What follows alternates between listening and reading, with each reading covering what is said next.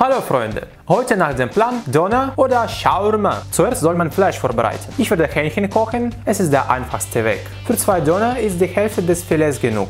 Trennen Sie alles Übriges ab, Fett, Fasern und schneiden in kleinen Streifen. Geben Sie Salz und Pfeffer dazu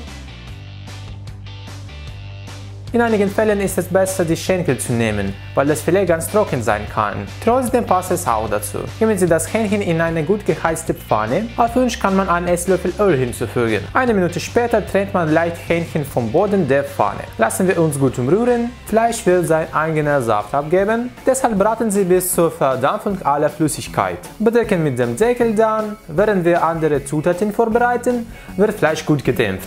Also jetzt koche ich die Soße. Dazu soll man 3 Esslöffel Mayonnaise und 1 Esslöffel saure Sahne mischen. Wenn Sie keine Mayonnaise haben, können Sie selbst eine kochen. Link ist in der Beschreibung. Das Kochen dauert nur eine Minute. Hier soll man eine Zehe des Knoblauches schälen und fein schneiden.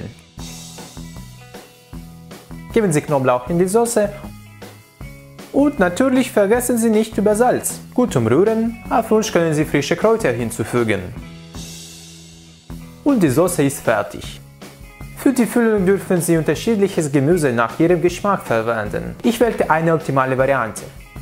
Nehmen Sie ein Fladenbrot. In diesem Fall passt am besten dünnen armenischen quadratischen Fladenbrot. Streichen Sie die Soße aus und legen die Füllung aus. Dazu brauchen wir geschnittenen Kohl, koreanische Mohrrübe, Gurken, Tomaten, Paprika und natürlich Fleisch.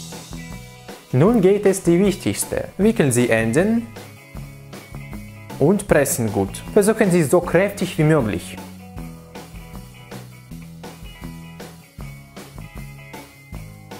Um knackige Kruste zu bekommen, geben Sie Döner in vorgewärmte Pfanne, Feuer mittelgroß und braten es beidseitig. Man darf leicht mit dem Pfannenwender pressen. Döner ist fertig. Das sieht ganz leicht aus. Also zum nächsten Mal am besten wäre alle Zutaten im Supermarkt kaufen und zu Hause selbst kochen, anstatt am frostigen Tag nach Döner ausstehen. Also abonnieren Sie auf meinen Kanal und klicken auf die Klingel, um neue Rezepte aus erster Hand zu erfahren. Bis bald!